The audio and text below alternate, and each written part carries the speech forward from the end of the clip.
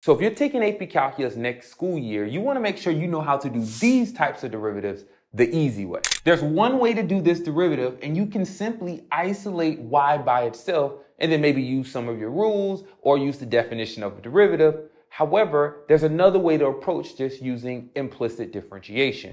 So we're gonna take the derivative of these things individually, but you're not gonna isolate x's and y's. You're gonna say that the derivative of 5y squared is simply gonna be 10y, and then we're gonna write a dy dx, because that's what we're solving for when we take the derivative of y with respect to x Derivative of 5 is simply going to be 0, so we're going to put 0. And then the derivative of x squared is going to be 2x. And then this is where we're going to put a dx dx. Why are we writing dx dx? Because we just took the derivative of the variable x with respect to x. The next step is simply for us to get all of our y's and x's on one side. And so happen in this problem, they're already there. And now we're going to simply go ahead and simplify what we have and lastly, isolate for our dy dx. So we know dx over dx cancels because anything over the same thing is going to be 1.